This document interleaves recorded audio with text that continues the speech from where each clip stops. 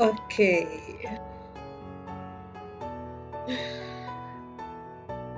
Assalamualaikum warahmatullahi wabarakatuh. Gimana kabarnya kalian semua? Semoga semuanya dalam keadaan sehat semuanya ya. Sehat selalu. Oke, hari ini kita akan belajar mengenai uh, hama pada tanaman kelapa sawit dan juga tanaman dari Brassicaceae. Jadi uh, ternyata uh, ini ya palm oil ini termasuk salah satu tanaman tahunan. Nah, kita tidak hanya membahas tanaman setahun, namun juga tanaman tahunan, apa hamanya, kemudian bagaimana pengendaliannya, dan juga ada tanaman sayur-sayuran di sini ya. Dan tanaman yang berhasil kase, ada lobak, ada kol, dan lain sebagainya. Oke ya. Kita mulai hari ini hmm, ya Oke, kalau yang digambar ini, kalau yang di cover ini, ini adalah uh, mungkin ada beberapa di antara kalian yang uh, pernah mengoleksi atau pernah menemui serangga ini ya. Serangga ini bisa dengan mudah ditemui di ya di sekitar kelapa sawit karena ini merupakan hama utama dari tanaman kelapa sawit. Ini namanya Orisitas rhinoceros atau disebut dengan rhinoceros beetle. Gitu ya. Oke, lanjut. Oke, uh, sekarang pernah terpikir nggak oleh kalian kalau ternyata tanam kelapa sawit ya atau kelapa yang ada di sekitar kita itu juga uh, bisa terserang oleh hama ataupun penyakit ya? Karena kita fokusnya ke hama kita akan membicarakan hama saja. Nah apa saja sih hama pada tanaman kelapa sawit? Dan pernah nggak kira-kira lihat gejala kelapa sawit yang daunnya uh, seperti ini ya seperti segitiga segitiga gitu sebenarnya apa yang terjadi. Nah, kita akan ini yang pelajari hari ini ya. Oke, okay, oke. Okay. Nah, common palm oil pest. Jadi ini adalah hama yang sering menyerang pada tanaman kelapa sawit. Nah, di sini yang yang yang akan saya bahas hanya lima, walaupun sebenarnya hama hama yang lainnya itu ada banyak. Ada kumbang badak atau disebut dengan Rhinoceros beetle, Orisitas rhinoceros, kemudian ada kumbang moncong, Rhynchoporus ferrugineus, ulat kantung Mahsina corbeti. Sambil ini ya, sambil kalian belajar cara pengucapannya ya, karena biasanya uh, tulisan dengan uh, apa bacaan itu berbeda ya.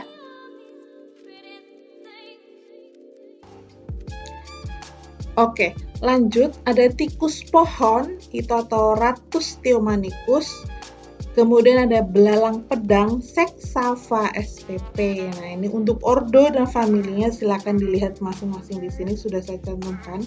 Di sebelah kanan ini ada Orisinos eh oh, sorry Orisitas salah sebut Orisitas rhinoceros adult. Adult itu adalah dewasa. Dewasa yang seperti ini. Ini kelihatan sekali ya kalian pasti sangat familiar ada kepala nah kepalanya ini ada apa modifikasi ya sedikit modifikasi di bagian pronotum kepala toraks dan abdomen sangat jelas sekali dan yang bawah ini ini adalah larva dari Orisitas rhinoceros nah larva dari Orisitas rhinoceros ini uh, banyak ditemui pada bahan-bahan organik Nanti kita akan bahas ya. Bentuknya seperti huruf C. Uh, tipenya adalah Scarabiform. Masih ingat kan ya? Kalian kan belajar dengan asisten ya. Huruf C.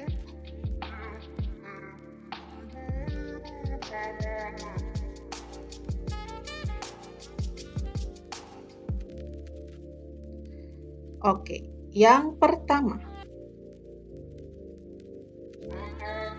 oke, uh, kumbang badak atau uh, dalam bahasa Inggris disebut rhinoceros beetle, Orisitas rhinoceros, Coleoptera scarabaeidae. Nah, uh, ini di sini ada tipe larvanya ya, Scarabaeiform. Dan kemudian kalau ini beda ya, ini sama-sama uh, Scarabaeidae. Uh, dua ini ada ada atas dan bawahnya ini. Kalau yang atas ini familinya beda. Ini adalah Dina eh sorry, bukan family, tapi spesies. Spesiesnya adalah Dynastes gideon. Mungkin ada di antara kalian yang uh, pernah mengkoleksi atau sedang mengkoleksi ini.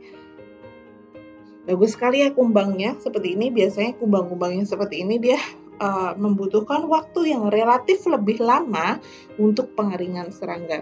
Dan yang bawah uh, sudah saya jelaskan tadi adalah Orisitas rhinoceros. Oke, kita akan mempelajari bioekologinya. Bagaimana bioekologinya? Jadi bioekologi itu adalah lebih kepada bagaimana bagaimana siklus hidupnya, bagaimana apa namanya tinggalnya di apa namanya di ekosistem dan lain sebagainya ya. Bagaimana habitat maksud saya ya. Kebiasaannya, habitnya dan lain sebagainya itu uh, itu adalah yang namanya bioekologinya.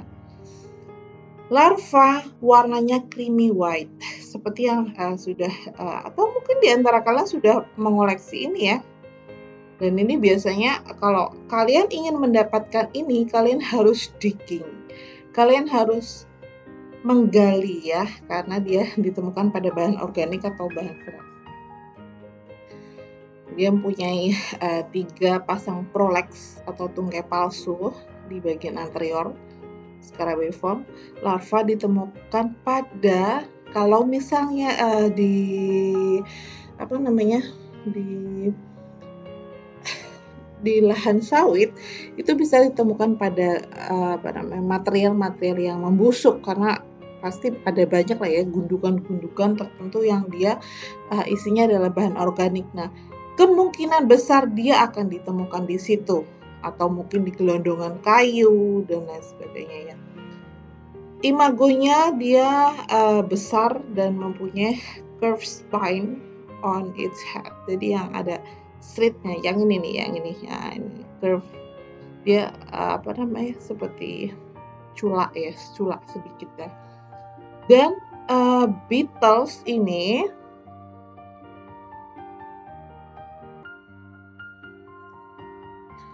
dan kumbang ini dia uh, nokturnal atau dia aktif pada malam hari dan uh, dia itu memakan uh, apa namanya memakan daun. Tapi dia biasanya memakan daun ketika daun itu masih kuncup ya, bukan bukan uh, daun yang sudah membuka. Uh, yang artinya daun kuncup itu berarti uh, da, uh, daun kelapa sawit yang masih muda ya, yang masih uh, apa ya namanya janur ya. Yaitu dia makan di situ dan cara makannya adalah uh, khas nanti ya. Dia makannya uh, apa namanya seperti gejalanya seperti huruf V karena uh, dia dia memakan pada daun yang masih menutup sehingga kalau sudah membuka itu daunnya nanti bentuknya hurufnya V. Jadi dia uh, dia makan yang masih menutup ya. Dan kemudian si kumbang ini dia juga creating holes in the top part of the palm. Jadi dia juga bisa membuat lubang-lubang pada bagian atas dari kelapa sawit itu. Dan bahkan bisa dia uh, bisa dia mematikan uh, si kelapa sawit itu ketika dia memakan jaringan meristem. Di mana dia jaringan meristem itu seperti titik tumbuhnya dia ya. Dan gejalanya sudah seperti yang uh, saya jelaskan tadi, itu sangat noticeable, sangat uh, sangat uh, sangat bisa dilihat sangat lebih mudah dilihat karena ada bentuk V setelah daunnya nanti membuka. Dan terkadang juga ada apa namanya ada ini apa ada lubang di pelepah daunnya dan dia telurnya itu ya eh, banyak diletakkan pada bahan-bahan organik ataupun pada pada misalnya pada kelapa sawit yang membusuk atau kelapa sawit yang pelepahnya mat, apa namanya mulai mati dan sebagainya ya. Nah, ini yang saya jelaskan tadi. Jadi terkesan e, cara makannya itu rapi banget ya huruf V. Itu karena e, memang cara makannya adalah ketika si daun itu masih menutup. Jadi ketika membuka dia nanti seperti itu. Jadi sudah bisa dipastikan jika ada kelapa ataupun kelapa sawit yang gejalanya seperti ini, ini adalah terserang oleh Orisites rhinoceros gitu ya. Jadi nanti kalau ada uh, apa namanya tanaman kelapa bisa dilihat-lihat ya itunya apa namanya uh, apakah ada yang gejala seperti ini atau tidak. Oke, kemudian kita beralih ke selanjutnya. Nah nih ya, dia uh, bisa membuat lubang juga di pelepah batangnya ya.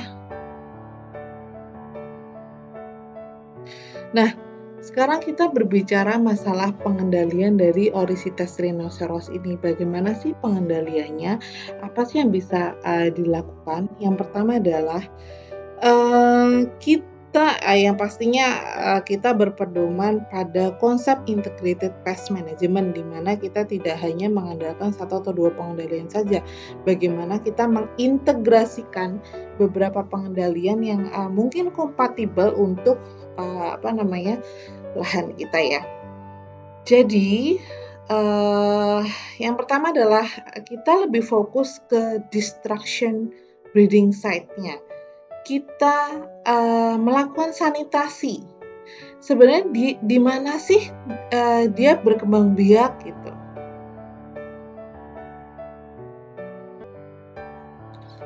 Oke. Okay di mana sih dia berkembang biak? Oh, ternyata larvanya itu oh, oke okay, kalau imagonya kan susah ya mengendalikan karena imagonya mungkin dia di atas pohon. Uh, dia terbang. Nah, yang yang lebih mudah kita kendalikan adalah fase larvanya karena fase larvanya itu biasanya tinggal atau habitatnya di bahan-bahan organik di gundukan-gundukan uh, karena pasti ada lah ya gundukan-gundukan uh, tertentu di uh, kelapa sawit itu ya. Jadi kemudian uh, yang kita lakukan adalah destruksi dari larva itu dengan menggali ataupun kita uh, bakar dan itu harus dilakukan secara kontinu. Kemudian hal yang penting lagi itu adalah kita menanam cover crop apa itu cover crop? Cover crop itu sejenis uh, tanaman penutup tanah. Atau kalau di kelapa sawit itu uh, terkenal dengan uh, sebutan LCC, itu adalah legume cover crop. Jadi penutup tanah yang dia tanamannya itu adalah tanaman legum. Yang sering digunakan itu adalah Mucuna bracteata. Seperti yang digambar di samping sebelah kanan itu adalah gambar dari Mukuna bracteata. Kemudian uh, batang-batang dari tanaman kelapa itu ap, apalagi yang yang yang sudah uh, mati ya pasti adalah batang-batang tua itu mati dan sebagainya itu harus uh, disanitasi atau mungkin ditebang dan sebagainya ya. Kemudian kita uh, selalu kontinu melakukan monitoring terhadap hama ataupun penyakit yang ada sehingga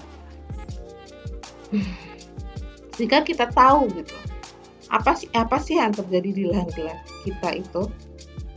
Dan uh, dan kemudian tidak serta merta uh, di kemudian hari tiba-tiba ada ledakan hama itu uh, rasanya akan uh, sangat uh, apa namanya sangat uh, jarang terjadi jika kita melakukan benar-benar monitoring gitu monitoring.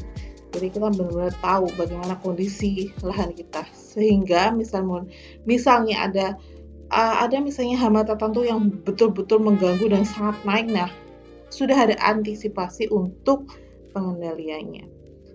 Kemudian uh, penggunaan biological control menggunakan baculovirus. Nah, sudah saya jelaskan ya uh, minggu lalu ada baculovirus dan itu sejenis virus entomopatogen. Dan kemudian uh, jadi si uh, baculovirus ini kan ada jenisnya ada banyak ya. Dan kemudian uh, baculovirus itu kemudian dia menyerang si Orisitas rhinoceros dan terbukti sampai 95% efektif gitu. Okay. Cuma memang uh, dan juga menggunakan Beauveria bassiana dan Metarhizium anisopliae yang uh, mereka itu adalah cendawan entomopatogen. Namun rasanya ini akan jadi PR besar untuk uh, para apa namanya produsen dari kelapa sawit ini karena aplikasinya mungkin relatif lebih agak ribet kali ya karena uh, Oke, kalau menggunakan Beauveria bassiana dan Metarhizium anisopliae itu bisa kita ke breeding site larvanya. Kita tempat tinggal, tempat berkembang biaknya atau tempat perkembangan larvanya. Kita bisa semprotkan ke gundukan-gundukan tanah ya Nah, dengan harapan nanti si larva Orisitas rhinoceros tersebut akan mati gitu ya dan tidak bisa berkembang menjadi dewasa. Oke. Jadi uh, legume cover crop itu yang uh, saya jelaskan tadi ada Mucuna bracteata itu sejenis tanaman legum. Selain dia berfungsi sebagai penutup tanah juga dia berfungsi sebagai uh, prevent soil erosion. Jadi uh, apa namanya mengurangi erosi dari uh, tanah. Sehingga dapat melindungi sumber air, kemudian apa namanya mengurangi herbisida. Karena kan gimana uh, gulma itu akan tumbuh ya karena kan sudah ditanami oleh uh, Mucuna bracteata tadi ya kemudian meningkatkan uh, fertilitas tanah dan lain sebagainya. Yang tidak kalah menarik oh, bukan menarik yang tidak kalah pentingnya adalah kita menanam beneficial plants yang sudah saya jelaskan pada pertemuan-pertemuan selanjutnya di mana namanya adalah kita menanam tanaman refugia yang yang fungsinya adalah sebagai dia shelter ataupun sebagai supplementary food untuk musuh alami. Jadi kan musuh alami itu kan perlu power untuk bisa apa namanya untuk bisa mencari atau uh, bisa memangsa dan lain sebagainya ya. Jadi dibutuh power. Powernya dari nektar. Oleh karena itu ada spot-spot tertentu di uh, perkebunan kelapa sawit itu yang uh, yang yang kita betul-betul uh, bagusnya ditanami tanaman refugia gitu ya. Kemudian pengendalian uh, lainnya adalah mating disruption, sudah saya jelaskan ya. Nah, jadi kita ganggu perkawinannya dengan menggunakan feromon gitu ya, feromon ya. Yang pastinya feromon ini uh, si jantannya nanti akan bingung gitu ya. Jadi dia tidak bisa menemukan betina. Seperti itu ya. Jadi si pheromone trap ini mem, mem, memerangkap serangga jantan gitu kan kalau lama kelamaan jantannya tertangkap oleh perangkap kan lama-lama tidak bisa breeding ya tidak bisa berkembang biak ya sorry tidak bisa kawin sehingga ya udah kalau nggak bisa kawin berarti tidak bisa menghasilkan keturunan nah Nah itu kalau secara kontinu kita lakukan dia akan lama-lama populasi dari Eurystheus rhinoceros ini akan tereduksi. Kemudian selain itu, nah ini ini ada ada breeding site dari atau ini semacam ada gundukan-gundukan tanah. Nah ini uh, apa namanya mungkin sisa serasa dan lain sebagainya. Ini apa namanya uh, dia spot yang baik untuk pertumbuhan si larva Rhinoceros. Nah ini, nah sebagai sebagai apa namanya pengendalanya ya kita bisa semprotkan cendawan entopatoknya di sini dan nanti si larvanya tadi akan gagal menjadi imago. Oke, yang kedua ini ada red palm weevil, Rhynchoporus ferrugineus. Nah ini uh, kumbang moncong merah, warnanya biasanya agak kemerahan. Uh, Weevil ini sangat uh, aktif pada tidak hanya pada malam hari namun pada siang hari juga.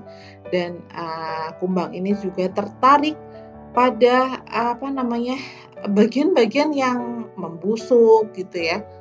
Atau misalnya ada yang terpotong uh, apa batangnya gitu ya hampir-hampir sama sih ya bioekologinya dengan Orisitas rhinoceros dan uh, kumbang ini dapat mendeteksi breeding site-nya itu at least setidaknya 900 meter. Jadi sudah 900 meter dia dia sudah bisa apa namanya sudah bisa menemukan oh di sana nih tempat breeding site-nya aku mau ke sana ya. Larva makan pada jaringan-jaringan yang lunak, kemudian uh, larva juga dia infeksi batang. Di at the base of young palm trees di bagian uh, bagian bawah dari dari pohon kelapa ya. Gejalanya uh, dia juga menyerang growing point-nya. Yang pastinya kalau diserang uh, growing growing point-nya nanti akan bisa uh, tanam akan mati ya apalagi tanaman masih masih muda ya. Kemudian pengendaliannya bisa menggunakan uh, trap pheromone yang tadi ya, trap uh, sorry, menggunakan uh, mating disruption. Kemudian trunk injection ini adalah kita menginjeksi batang dengan uh, pestisida sintetik. Biasanya ada pestisida ya, eh sorry, pestisida sistemik. Pestisida, sistemik itu adalah pestisida yang nantinya dia akan terserap oleh uh, karena ini terang berarti terserang terserap oleh si batangnya. Dengan harapan yang kemudian si apa namanya si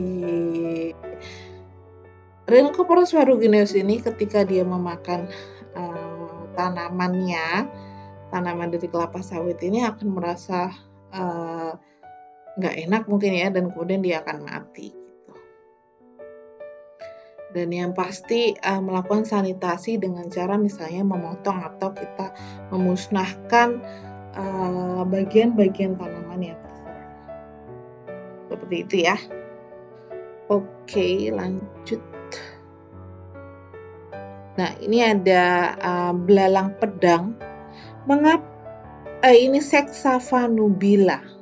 Nah ini ya, mungkin kalian pernah uh, praktikum dulu ya di mata kuliah sebelumnya. Kenapa disebut belalang pedang? Karena ovipositornya itu panjang, menyerupai pedang gitu ya.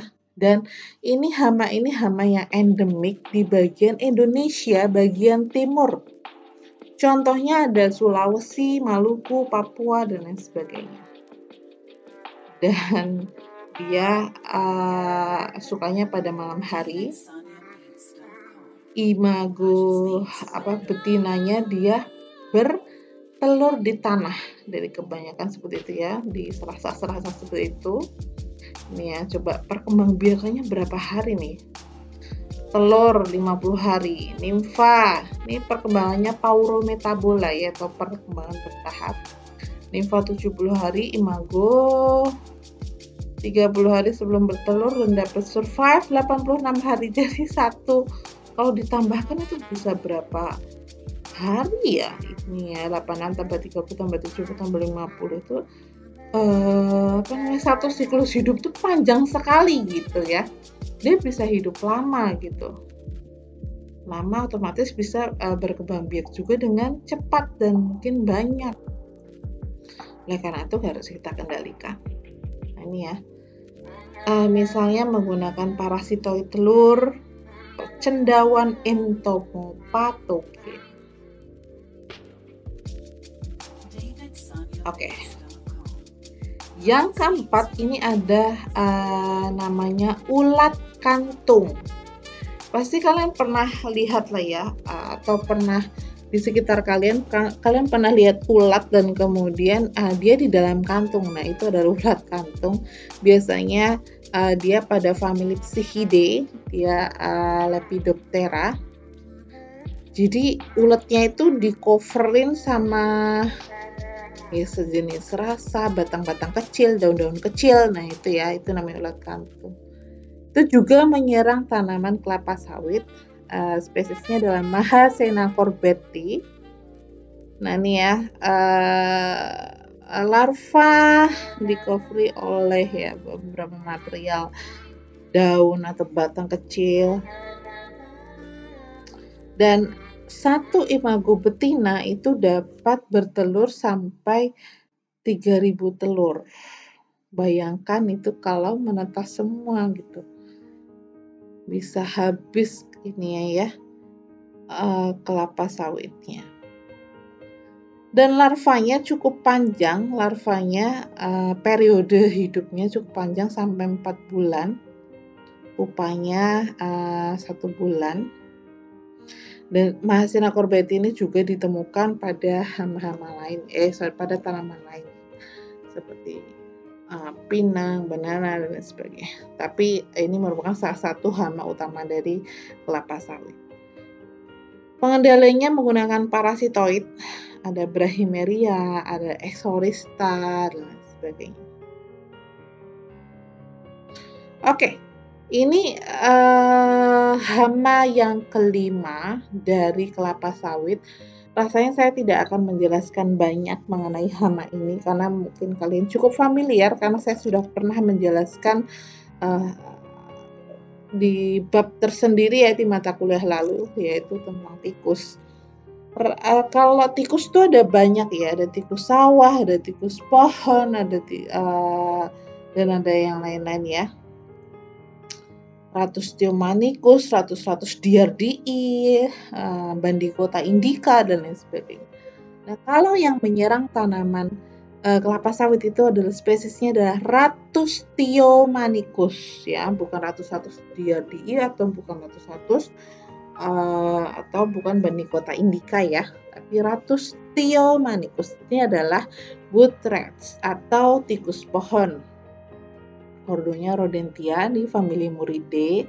Dia menyerang uh, kelapa baik uh, muda ataupun tua. Coba lihat nih kalian nih. Uh, dia makan makanin aja nggak beraturan gitu nggak jadi memang karakteristik di karakter karakteristik tikus itu kan makannya kayak di diacak-acak ya seperti ini jadi bisa bolong-bolong nggak beraturan gitu ya makan sedikit pindah lagi makan sedikit pindah lagi ya begitu seterusnya. Dan pengendaliannya uh, menggunakan apa? Ada sanitasi. Gropiok kan kalian sudah tahu ya gropiok kan berarti kan uh, ini penangkapan tikus secara massal menggunakan umpan beracun atau menggunakan Tito alba. Yang pasti Uh, penggunaan Tito alba sebagai uh, predator dari tikus ini juga kita harus uh, punya usaha. Dia tidak mungkin uh, datang sendiri dan berkembang biak secara alami tanpa kita bantu. Itu akan susah gitu ya. Jadi yang yang harus kita lakukan kita juga uh, apa namanya? Kita membuatkan artificial nest atau disebut dengan sarang buatan ya seperti yang digambar itu. Jadi kita harus uh, membuatkan uh, seperti rumah-rumahan ya untuk tempat dia breeding, untuk tempat dia berkembang biak sehingga uh, harapannya dia akan berkembang biak secara alami uh, dan banyak gitu yang kemudian dia secara efektif akan mengendalikan si tikus. Oke. Okay. Oke, kita lanjut ke uh, hama pada tanaman brassicase atau uh, ada tanaman sayur-sayuran di sini ternyata banyak juga hamanya ya. Uh, dan ini saya hanya bahas lima saja. Jadi yang termasuk brassicase contohnya misalnya kubis, caesim, brokoli, lobak, dan lain sebagainya. Ada Mizus persike, kemudian ada Plutella silostella, Crocidolomia pavonana, Liriomiza brassicae, dan Agrotis ypsilon. Oke, kita akan bahas satu persatu ya.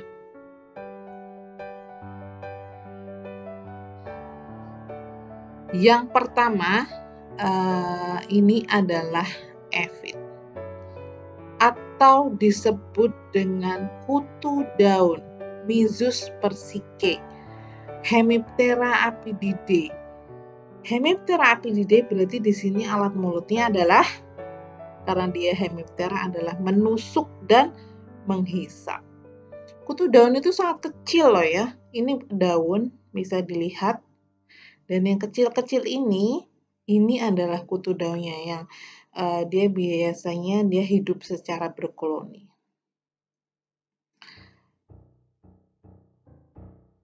Oke, ini nimfanya warnanya agak uh, kuning kehijauan. Kemudian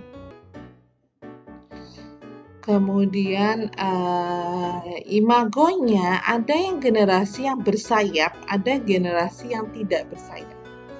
Dia um, biasanya kutu-kutuan ya, seperti biasanya dia akan apa akan uh, membentuk generasi yang bersayap jika uh, koloninya itu sudah tinggi sehingga dia perlu membentuk generasi yang bersayap untuk pindah ke tanaman lainnya.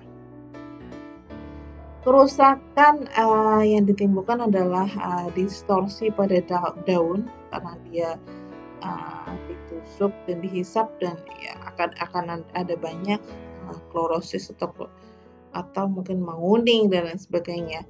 Dia mengkontaminasi produk karena seperti yang kalian tahu bahwa yang namanya kutu-kutuan itu juga menghasilkan embun madu. Nah, embun madu itu atau honeydew itu adalah embun madu. Nah, mengapa dia bisa mengontaminasi produk? Karena embun madu tersebut nantinya akan uh, sebagai media yang baik untuk pertumbuhan dari embun jelaga. Jadi nanti warnanya jadi hitam-hitam gitu ya. Dan uh, dia juga berperan sebagai vektor. Vektor itu adalah pembawa ya vektor itu adalah pembawa dari banyak uh, virus ya, biasanya kutu-kutuan ini memang handal untuk dia vektor uh, sebagai virus kemudian oke okay, preventingnya uh, oke okay, kita menanam apa namanya tanaman uh, yang memproduksi nektar kita menanam tanaman refugia. Nah, ya tanaman tersebut akan mendatangkan musuh alami gitu ya. Uh, hoverflies, to Diptera sirpidae, rasanya sudah pernah saya ini ya gambarnya sudah pernah saya perlihatkan ladybugs itu adalah uh, kumbang coccinellidae Lechwing ini adalah uh, nanti akan ada gambarnya setelah ini ya.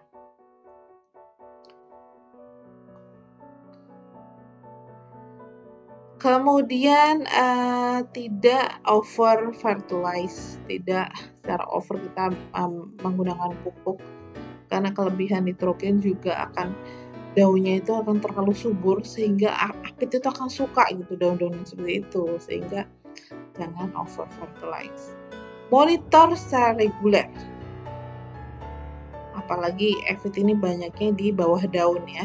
Jadi uh, harus uh, dimonitor secara reguler ini penggunaan uh, bisa menggunakan sticky trap ya sticky trap seperti ini ya ini uh, jadi ada uh, yang warnanya biasanya sticky trap itu ada banyak warnanya namun yang sering digunakan itu adalah warna kuning karena uh, panjang gelombang dari apa namanya kuning ini sangat menarik gitu bagi serangga sehingga serangga itu akan bisa tertarik sticky sticky berarti dia lengket jadi uh, dia perangkap kuning yang lengket ya, yellow sticky trap. Jadi dia akan banyak tertangkap di sini nanti ya. Kemudian kita juga mengendalikan gulma karena Evid itu juga selain dia di tanaman utama dia juga menggunakan uh, gulma sebagai inang alternatifnya. Pengendaliannya bagaimana? Pengendaliannya misalnya menggunakan neem oil sudah saya jelaskan ya.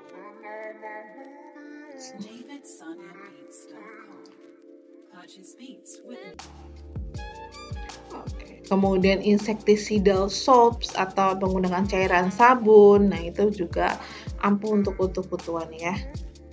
Tapi ya perlu kita perhatikan lagi apakah penggunaan uh, insecticidal soap itu apa namanya efisien gak sih? Apalagi misalnya kalau kita punya lahan yang besar sekali ya, seperti culture oil, seperti yang sudah jelaskan sebelumnya. Nah itu uh, efektif untuk Evit.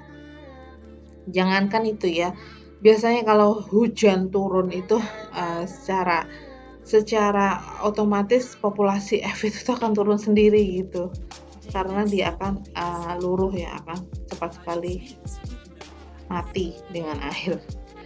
Uh, predatornya green shrimp ini Neuroptera yang semuanya uh, dia predator Chrysopidae. Dan Bioveria bassiana kalian sudah familiar cendawan untuk patogen kemudian ada parasitoid ini ada apidius. Nah ini ya. Parasitoid itu biasanya lebih kecil dari uh, lebih kecil dari inangnya tapi tidak selalu. Contohnya yang lebih besar ini. Kutu daunnya kecil tapi parasitoidnya lebih besar gitu ya. Oke lanjut. Yang kedua adalah diamond back moth dia seperti ini ini telur ini larva ini pupa dan sebelah sini ketupan saya ini adalah imagonya. Telurnya warnanya seperti ini uh, agak putih kekuningan dan dia diletakkan dan berkelompok pada daun ataupun batang.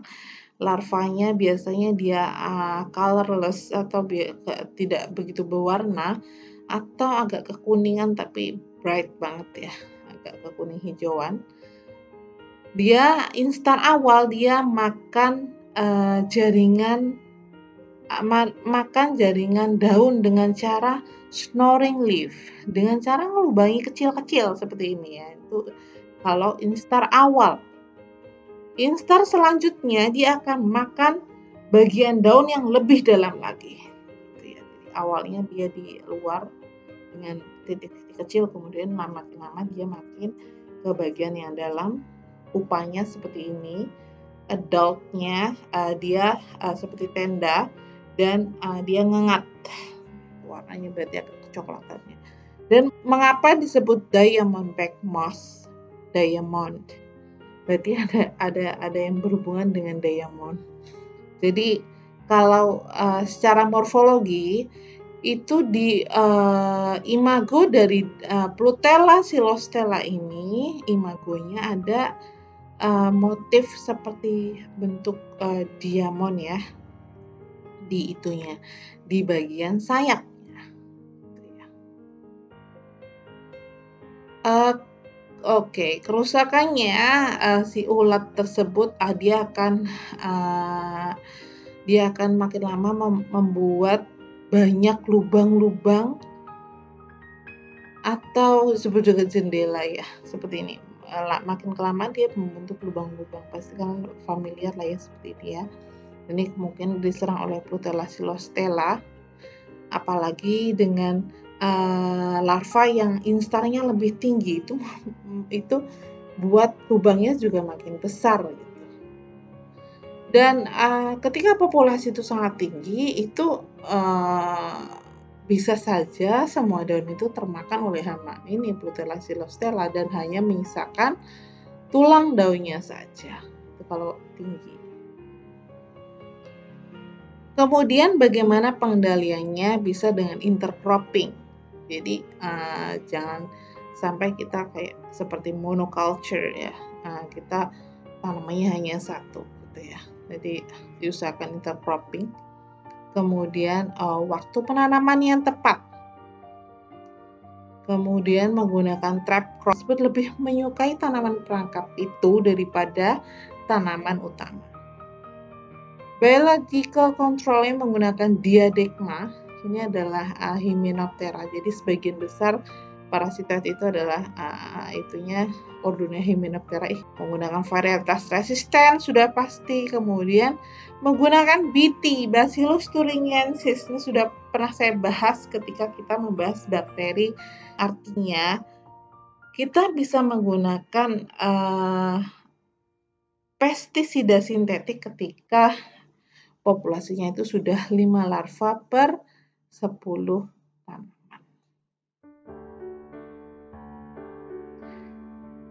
Ini ada yang kebis Crocidolomia pavonana.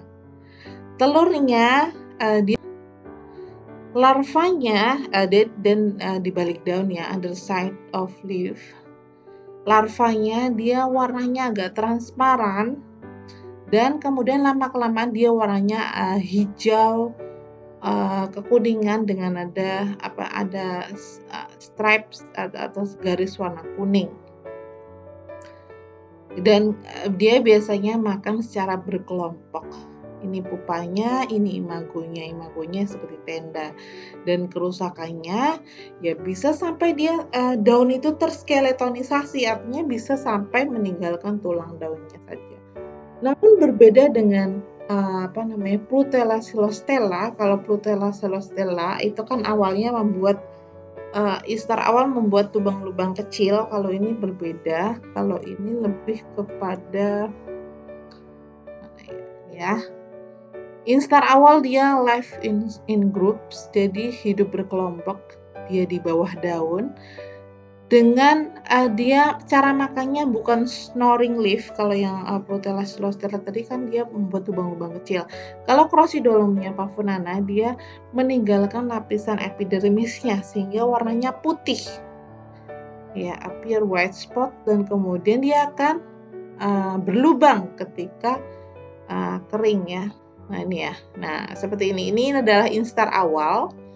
Jadi dia makan cuma disisain itu lapisan epidermisnya jadi kelihatannya semua putih-putih nah ini kalau kering nih gampang robek kayak gitu ya itu intinya itu.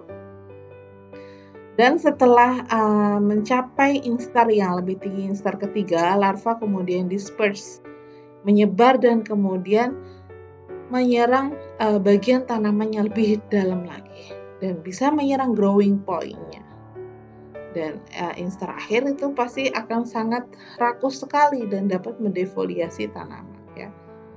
Nah, sehingga sampai parah seperti ini manajemennya ya kita harus mengatur waktu tanam yang tepat kemudian uh, rotasi tanaman juga ya kemudian kalau secara mekanik kita bisa mengumpulkan uh, telur kelompok telur dan larva karena biasanya dia hidup uh, dalam berkelompok ya apalagi larva instar awal dan uh, kelompok telur. Jadi kita kumpulkan secara manual. Namun apakah ini akan ini akan susah sekali ketika kita mempunyai misalnya uh, berhektar-hektar. Masa kita lihatin satu persatu mana kelompok telurnya mana larvanya dan sebagainya akan susah sekali. Namun itu bisa menjadi salah satu pilihan Kemudian menggunakan uh, Bacillus thuringiensis.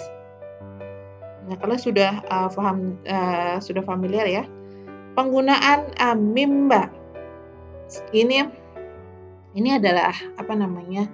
pestisida nabati, botanical pesticide Azadirah indica. Itu adalah uh, tanaman mimba dengan bahan aktifnya adalah azadirachtin.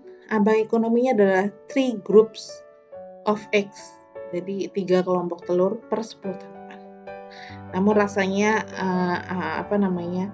aplikasi ambang ekonomi ini akan sangat susah bagi petani karena bagaimana cara mengecap tiga grup kelompok telur per 10 tanaman itu akan relatif lebih susah gitu ya. Jadi uh, bisa kita menggunakan alternatif-alternatif yang lainnya yang kompatibel Kemudian ini ada hama yang keempat ada leaf miner atau pengorok daun. Uh, Oke, okay. per pernah nggak sih kalian lihat daun kemudian ada kelokan-kelokan seperti ini? Kelokan-kelokan seperti ini ya, daun berkelok-kelok. Nah ini ini kemungkinan besar dia terserang oleh pengorok daun Liriomyza spp. Kalau uh, brassicase itu Liriomyza hmm, kalau menyerang tanaman brassicase itu Liriomyza brassicae. Telurnya itu kecil, uh, kemudian dia bentuknya bulat dan dia diletakkan secara single satu persatu di bawah daun, other side of leaf. Kemudian larvanya larvanya nanti dia akan ada di sini gitu. Dan dia memakan membuat kelokan-kelokan gitu okay. dan larva yang instar akhir dia akan drop to the soil to pupate dia akan jatuh ke tanah untuk dia melakukan uh, dia berubah menjadi pupa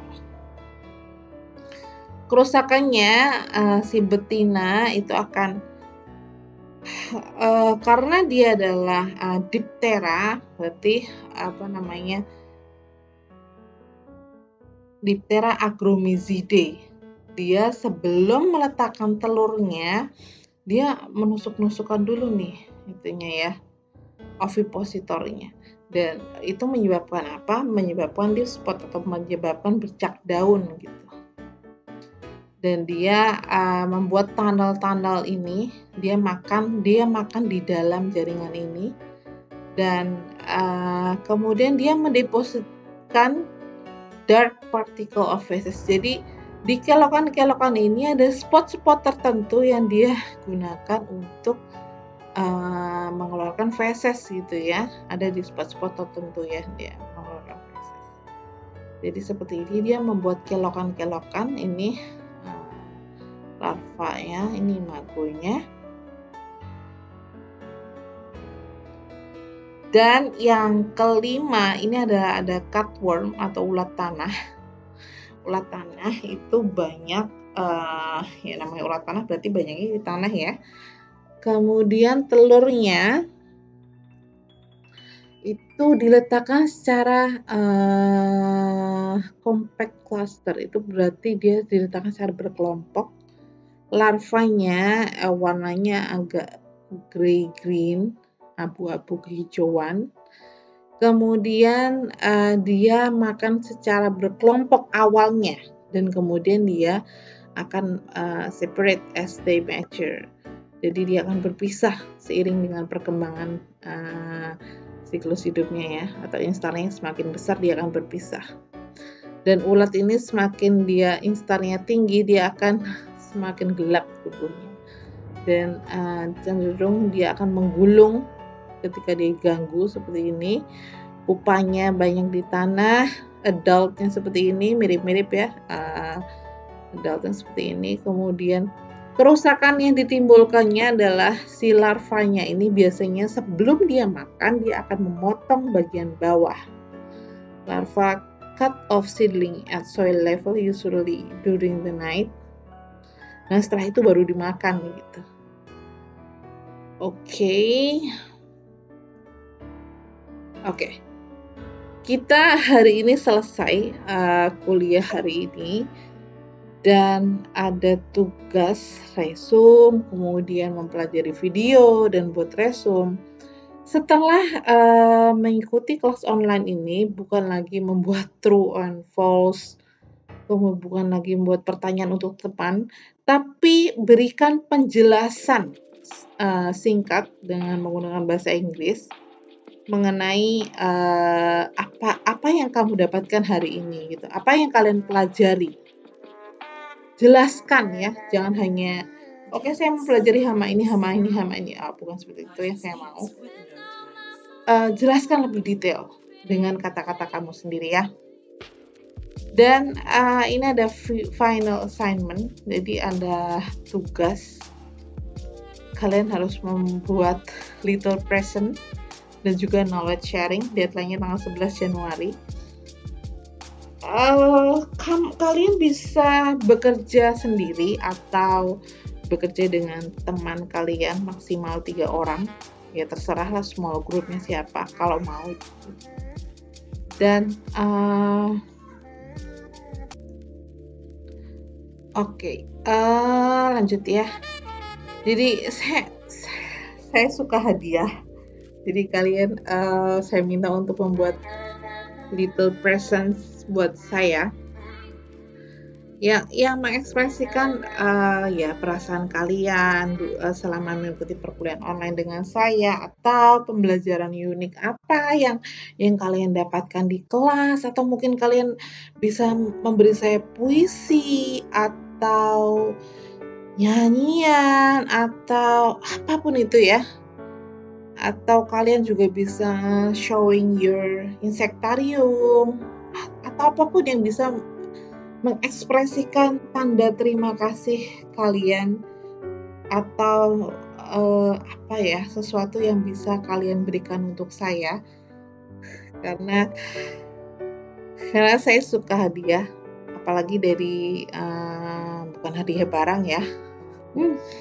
Jadi uh, apa pun itu yang bisa uh, kalian share saya akan terima dengan senang hati ya.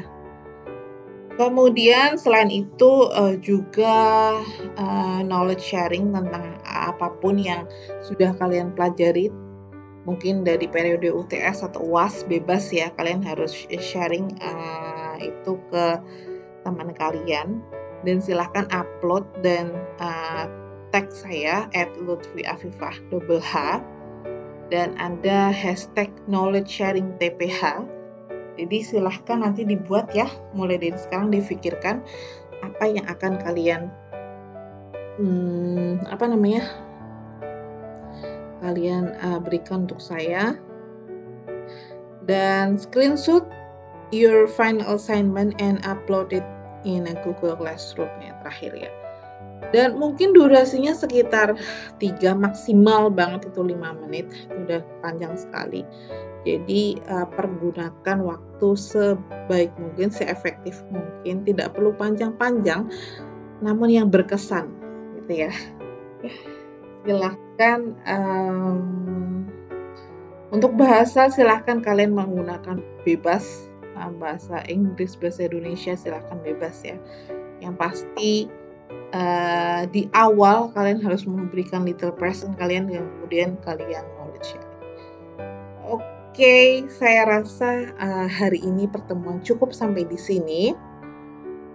Sampai jumpa minggu depan di pertemuan kita yang terakhir untuk mata kuliah ini. Dan uh, rasanya hampir selesai ya kewajiban saya semester uh, ini untuk mengantarkan kalian ke UAS. Oke, sehat selalu dan uh, sudah selesai hari ini gitu ya. Jangan sampai uh, apa ya, jangan lupa buat uh, short explanation di YouTube komen ya. Saya tunggu ya. Sekian dari saya. Wassalamualaikum warahmatullahi wabarakatuh.